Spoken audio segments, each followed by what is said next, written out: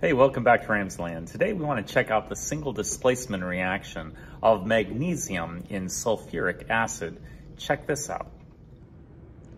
All you need for this reaction is some powdered magnesium, a spatula, a dropper, some 18 molar sulfuric acid, and a graduated cylinder.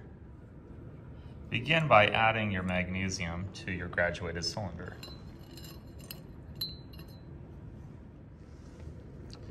Now you're ready to add your sulfuric acid.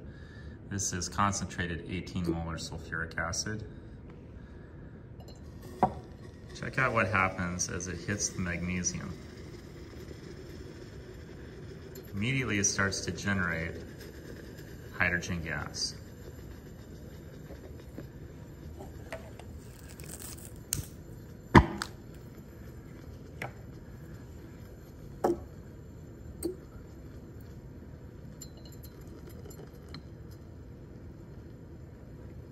You can test this hydrogen gas by simply lighting the top of the graduated cylinder.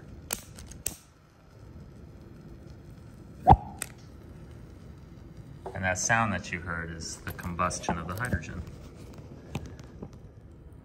Okay, so what's happening in this reaction is, of course, we started with our magnesium powder. We added that with our sulfuric acid, and that displaced hydrogen gas in this exothermic reaction, and the product was magnesium sulfate that you see at the bottom there. The white gas that was coming out, that was pure hydrogen.